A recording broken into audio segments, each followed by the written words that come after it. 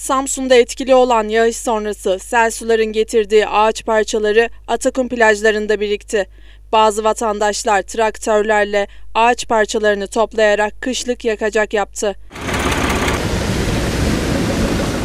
İncesu, Yalı Mahallesi sakini Ali Varan, deniz malı ganimettir. Biz de bu ganimetten faydalanıyoruz dedi.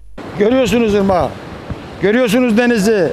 Bak nasıl akıyor bak. Yukarıdan evet yukarıdan dağların arasından ırmak coştu ve denizi doldurdu. Biz de buradan faydalanıyoruz. Deniz malı ganimettir.